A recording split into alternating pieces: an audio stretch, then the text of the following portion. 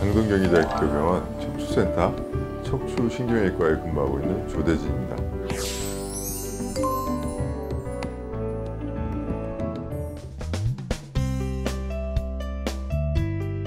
예전에 비해서 오전 전에 비해서 확실히 많이 늘었습니다. 퇴행성 디스크 질환이기 때문에 연령이 많을수록 병원에 오는 확률이 더 많은데 급격하게 20대 환자들이 많이 늘어났다는 것은 뭔가 목에 안 좋은 자세, 스마트폰, 컴퓨터, 책상에 앉아 있는 사무직, 운전 뭐 이런 자세들이 운동 부족 여러 가지 자세들이 아마 그런 원인에 기여했다고 생각이 됩니다.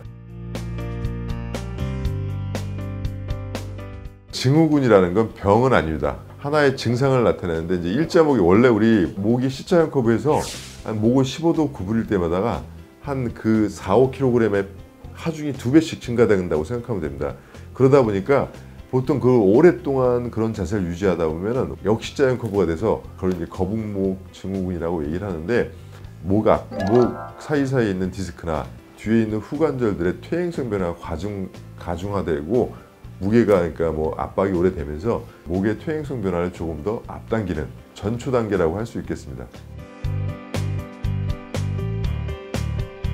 목 디스크 증상은 처음에는 보통은 이제 뭐 목이 아프다기보다 어깨 주위로 아픕니다. 그러니까 목뼈와 뼈 사이에 완충 작용을 해주는 디스크, 그러니까 쿠션 같은 물렁뼈가 있는데 보통 뒤로 튀어나오면은 뭐 손발이 뭐 어눌하다든가 걸음걸이가 비틀거린다든가 이상한 마비 증상을 호소하는데 보통은 대부분의 목 디스크들은 주로 그러니까 어깨 사이, 어깨 주위, 팔 저림 등등이 가장 큰 특징이라고 할수 있겠습니다.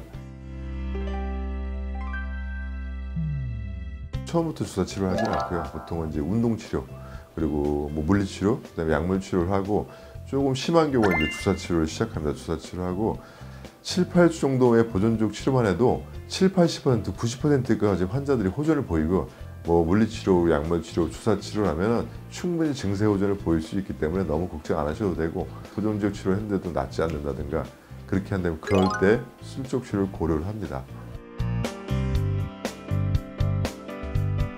뭐 스마트폰을 안 볼 수는 없고 또 컴퓨터로 작업을 안 할 수도 없고 그런 거기 때문에 중간중간에 10분, 15분 늦어도 2, 30분 안에는 한 번씩 일어나서 목을 스트레칭 해주고 그리고 평상시에 걸을 때 너무 정면 똑바로 바라보면서 저, 한 상방 15도 보면서 바른 걸음으로 한 뭐 30분에서 1시간만 걸어줘도 목 디스크 환자는 많이 줄어들 것 같다고 생각이 듭니다.